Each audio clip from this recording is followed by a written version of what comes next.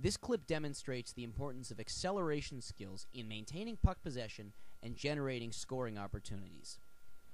As soon as he skates onto the puck, number 15 immediately establishes a propulsive leg angle here.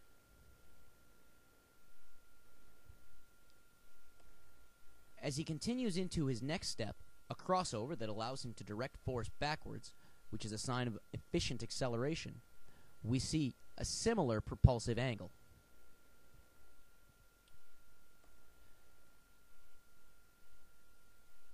After these first two steps, we see that he has generated so much power that the opponent simply cannot match him, eventually leading to a goal.